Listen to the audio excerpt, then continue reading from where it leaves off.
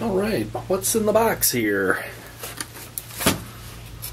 Ooh. Power resistor. Look at this beauty. Jeez, look how thick that is.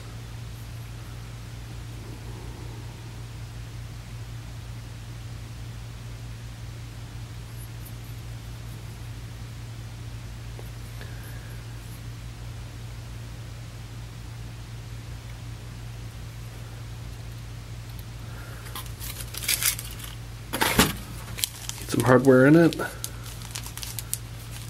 Looks like uh, I'm counting four washers, two nuts, but there's already two on here too, so I guess you get four. All right. What would you guys use that for? Put it in the comment down below. I heard you can um, you could drain a car battery by hooking up the two terminals in here.